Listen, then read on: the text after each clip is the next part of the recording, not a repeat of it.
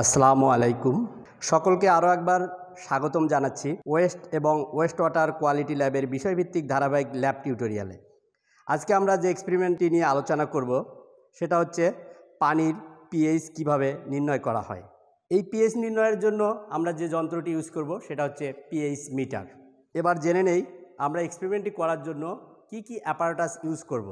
আমরা প্র্যাকটিক্যালটির নাম দেখেই বুঝতে পারছি যে মূল যন্ত্রটি হচ্ছে পিএইচ মিটার আর এর সঙ্গে যে অ্যাপারেটাসগুলো ইউজ করব, বিভিন্ন সাইজের কিছু beaker sample pH solution sample waste water distilled water এই এক্সপেরিমেন্টটি করার জন্য প্রথমে নির্দিষ্ট কিছু বিকারে আমরা স্যাম্পল ওয়াটারগুলো পরিমাণ মোতাবেক ঢেলে নেব এবং একটি পাত্রে প্রোপটা পরিষ্কার করার জন্য ডিস্টেল ওয়াটার নিয়েছি।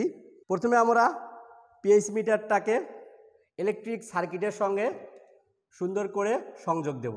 এটা হচ্ছে পাওয়ার পয়েন্ট পাওয়ার পয়েন্টে আমরা সংযোগটা দিয়ে দেব।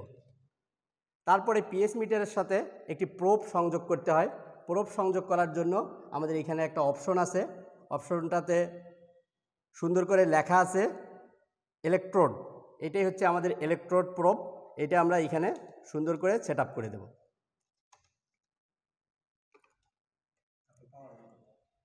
এরপরে আমাদের যে কাজটি করতে হবে প্রোপটাকে সুন্দর করে ডিস্টেল ওয়াটার যে বিকারটিতে নিয়েছি, ওইটার মধ্য দিয়ে সুন্দর করে এটা পরিষ্কার করতে হবে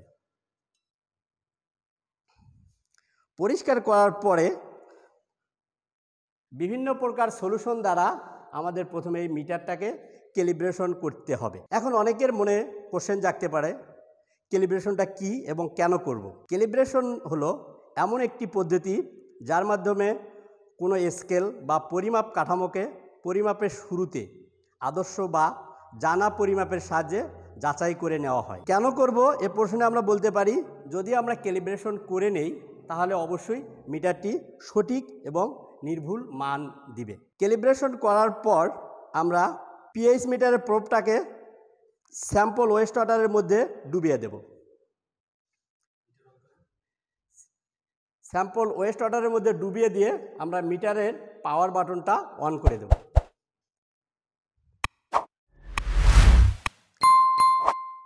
অন করে দেওয়ার পরে এটা মিটারের ডিসপ্লেতে কিছু সময় ফ্লাকচুয়েট হবে এবং নির্দিষ্ট একটা সময় পর এটা স্টাবল হবে। স্টাবল হইলে আমরা স্যাম্পলের পিএইচের ভ্যালু পেয়ে যাব। এজন্য মেশিনটা কিছু সময় নেবে। এই সময়ের মধ্যে আমরা দুইটা জিনিস জেনে নেই। একটা তার মধ্যে অনেকের মনে কোশ্চেন জাগতে পারে ডিস্টেল ওয়াটারটা আসলে কি? ডিস্টেল ওয়াটার হচ্ছে, এটাও এক প্রকার পানি, কিন্তু এই পানিটা ব্যাকটেরিয়া এবং সমস্ত খনিজ এবং ময়লামুক্ত। এই পানি তৈরি করা যায় সহজেই। আমরা চাইলে ল্যাবেও পানি তৈরি করতে পারব। পাতন প্রক্রিয়ার মাধ্যমে ল্যাবে এই ওয়াটারটা তৈরি করা যায় এবং এটা বাজারেও সহজেই কিনতে পাওয়া যায়। আর একটা জিনিস আমরা জেনে নিই এই ফাঁকে, আসলে পিএইচটা কি? আমরা যে কাজটা করতেছি পিএইচ নির্ণয় করব। পিএইচটা আসলে কি? এই জিনিসটা আমাদের জানা দরকার। অনেকের ধারণা পিএইচ যে লেখাটা আছে, অনেকেই পিএইচটাকে পি এর পাওয়ার মনে করে। আসলে এটা আমাদের ভুল ধারণা। পিটা হচ্ছে ছোট হাতের পি এবং এইচটা হচ্ছে বড় হাতের এইচ। এই জন্য দুইটা এইভাবে লেখা। এইচটা পি এর পাওয়ার না। রসায়নের ভাষায় পিএইচ বলতে দ্রবীভূত হাইড্রোজেন আয়নের সক্রিয়তার পরিমাপকে বোঝায়। পিএইচ দ্বারা মূলত হাইড্রোজেনের আয়নের ঘনত্বকেও বোঝায়। পঁচিশ ডিগ্রি সেলসিয়াস তাপমাত্রায় বিশুদ্ধ পানির পিএইচ সাত থাকে। পিএইচ স্কেলে এই মানকে নিরপেক্ষ মান ধরা হয়। পিএইচ স্কেল শুরু হয় জিরো থেকে চোদ্দ পর্যন্ত। সাতকে ধরা হয় নিরপেক্ষ বা নিউট্রাল পিএইচ স্কেলের জিরো থেকে সাত পর্যন্ত অম্লীয় এবং সাত থেকে চোদ্দ পর্যন্ত ক্ষারীয়।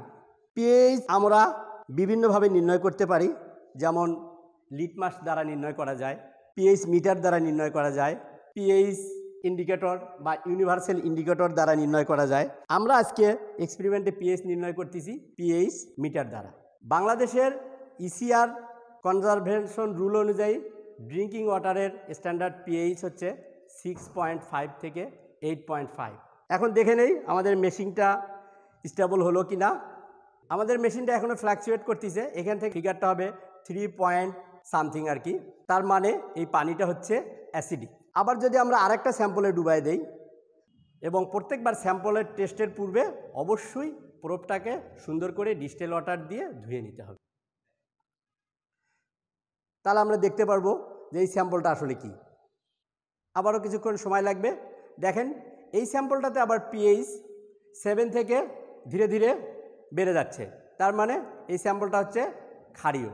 এভাবে আমরা পিএইচ মিটারের সাহায্যে একাধিক স্যাম্পল, সেটা একটা হতে পারে, দুইটা হতে পারে, পাঁচটা হতে পারে, আমরা টেস্ট করতে পারব।